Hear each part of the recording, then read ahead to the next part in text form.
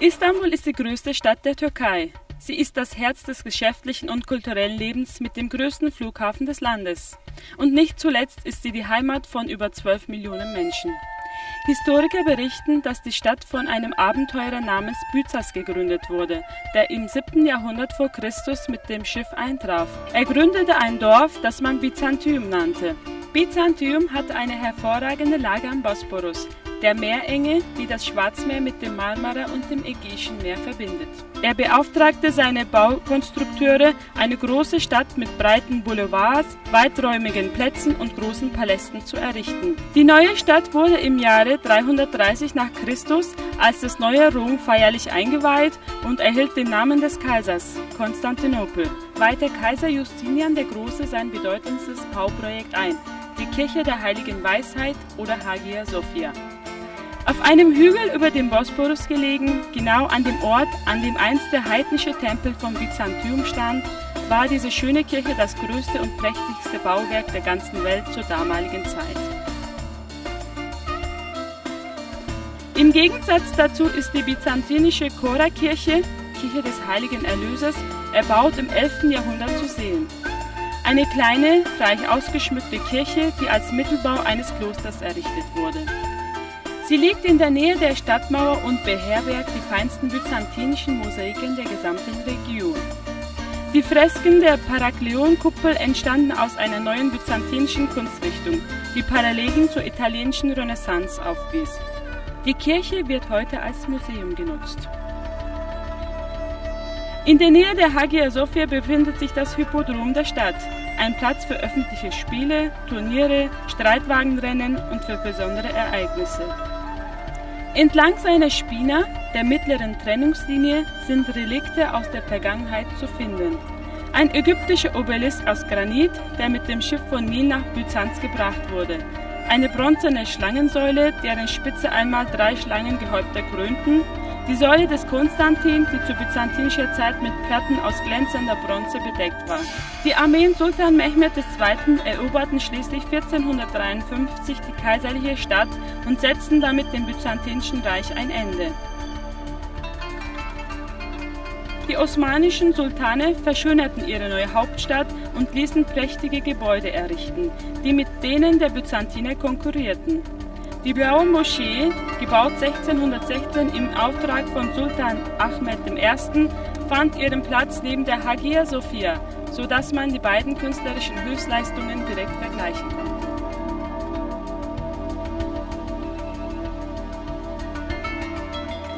Der Sultan stiftete seine große kaiserliche Moschee mit vielen anderen Gebäuden dem Volk. Trinkwasserbrunnen, eine Klinik, eine Suppenküche für die Armen, ein türkisches Bad, ein Priesterseminar, Wohnviertel, Geschäfte und Warenhäuser.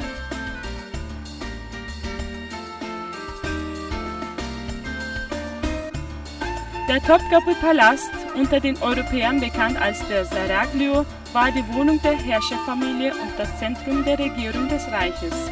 Erbaut zwischen 1465 und 1478 wurde es während der folgenden vier Jahrhunderte ständig umgebaut und erweitert. Es ist ein herrlicher Ort mit Gärten, Pavillons und mit luxuriösen, majestätischen Räumen, von denen viele mit unbezahlbar wertvollen türkischen Kacheln ausgestattet sind. Der bekannteste Teil von Topkapi ist der kaiserliche Harem, legendär wegen seines Luxus, seiner Romantik und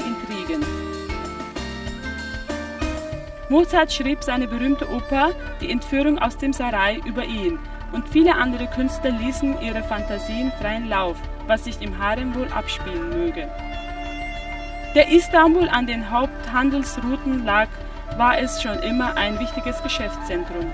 Der große Bazar mit seinen 4000 Geschäften ist einer der faszinierendsten Märkte der Welt.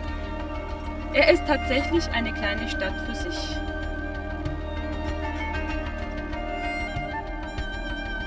In der Nähe des Goldenen Horns befindet sich der ägyptische Markt, Gewürzmarkt, der in osmanischer Zeit bekannt war als ein Ort, an dem Gewürze und Kräuter zu kaufen waren, die für die Küche oder zu medizinischen Zwecken verwendet wurden. Auf einem Hügel mit Blick über die Stadt steht die Süleymaniye-Moschee oder die Moschee von Süleyman dem Prächtigen, die größte der kaiserlichen Moscheen der Türkei.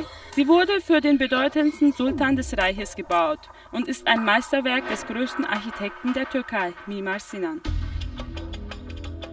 In der Region um Istanbul sind viele bezaubernde Orte zu finden, die sich als Ziel von Tagesausflügen anbieten. Mit der Fähre können Sie in kurzer Zeit nach Süden über das Marmara-Meer nach Iznik fahren, in alter Zeit bekannt als Nicea. Iznik ist bekannt für seine Landwirtschaft, aber es kann auch auf eine lange römische Geschichte zurückblicken. Das antike Nicea war eine für Handel, Politik und Kultur bedeutende Stadt. Die frühe christliche Kirche führte hier zwei wichtige ökumenische Konzile durch. Bei dem ersten Konzil von Nicäa, das im Jahre 1325 in der Hagia Sophia Kirche abgehalten wurde, schufen Theologen die Voraussetzung für die Annahme des nizäischen Glaubensbekenntnisses. Nicht weit im Süden von Iznik liegt Bursa, eine große und stetig wachsende Stadt, die sich an den Bithynischen Berg Olymp anlehnt. Bursa konnte bereits auf eine lange Geschichte zurückblicken. Als 1326 die osmanischen Sultane die Stadt zu der ersten Hauptstadt ihres sich rasch ausdehnenden Reiches wählten. Erbaut 1396 ist es die älteste erhaltene osmanische Moschee. Ein Vierteljahrhundert später wurde die Grüne Moschee gebaut. Ihr Stil ist von dem arabischen beeinflussten Ulujami verschieden. Die Grüne Moschee und die sich umgebenden Gebäude, ein kaiserliches Grabmal, ein Priesterseminar und eine Suppenküche für die Armen geben uns einen Eindruck von dem, was die osmanische Architektur in den folgenden Jahrhunderten noch leistete. Seit alter Zeit ist Bursa ein Zentrum des anatolischen Seidenhandels. Noch heute werden im Juni und Anfang Juli Säcke voller Seidenraupenkokons gehandelt. Ein großer Teil der Geschäfte wird in dem historischen Kosahan, einem Gebäude aus dem Jahre 1451, abgewickelt. Die haardünnen Seidenfäden werden gefärbt und zu leuchtend bunten Kopftüchern, Schals, Blusen und anderen Kleidungsstücken verarbeitet. Westlich des Stadtzentrums von Bursa liegt der Vorort Çekirge, berühmt für seine heißen Mineralquellen. Sowohl den Römern wie den Osmanen, die die Bäder restauriert und deren Anlagen erneut haben, dienten diese Quellen zu ihrem Genuss. Fährt man von Istanbul oder Bursa aus westwärts, erreicht man in wenigen Stunden die Dardanellen. Während des Ersten Weltkrieges sandte Winston Churchill eine riesige Flotte der Alliierten aus, die seinen Weg durch die Dardanellen durchsetzen sollten, um Istanbul einzunehmen und die Seewege nach Russland wieder öffnen zu können. Mit hartnäckigem Widerstand gelang es der türkischen Seite, die Flotte und die Invasionsarmee aufzuhalten, aber die Kosten waren für beide Seiten entsetzlich. Schaut man über die südliche Öffnung der Dardanellen, so fällt der Blick auf das antike Troja. Seit der Bronzezeit ist der Ort besiedelt. Der Dichter Homer berichtet, dass die Achäer-Griechen die Trojaner vor mehr als 3000 Jahren überfallen hätten, weil ein trojanischer Prinz die schöne Helena entführt habe. Moderne Historiker hingegen nehmen an, dass dieser zehn Jahre währende Krieg wahrscheinlich um die Kontrolle über die Dardanellen ausgefochten wurde. Was auch immer der Grund war, Troja verlor den Krieg. In der Nacht krochen die achäischen Soldaten, die sich in dem Pferd versteckt hatten, nach draußen und öffneten die Stadttore für die Invasoren.